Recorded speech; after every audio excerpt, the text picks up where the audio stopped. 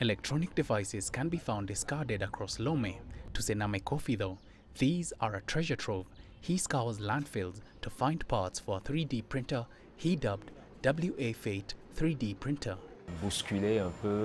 We discovered the potential that can address the backlog in Africa. So the main idea of this project is to have a machine that will enable us to revolutionize the industry in Africa.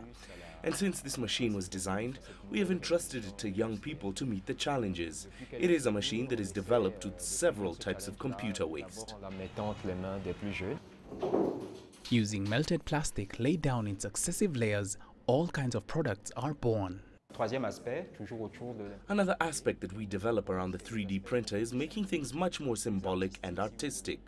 We've made a concept for NASA and currently we're working on a concept of production for an artistic work for a design school.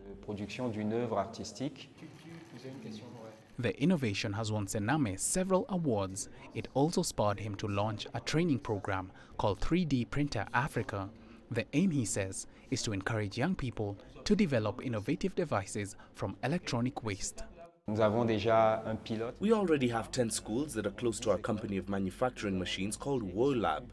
We go to these schools to teach 3D printing and then we plan to install these machines in these different educational institutions so that the children can experiment with them. We have 10 schools at the moment but the ambition is to extend this training to all the schools of Lome and the sub-region to enable Africa to prepare for a new industrial revolution.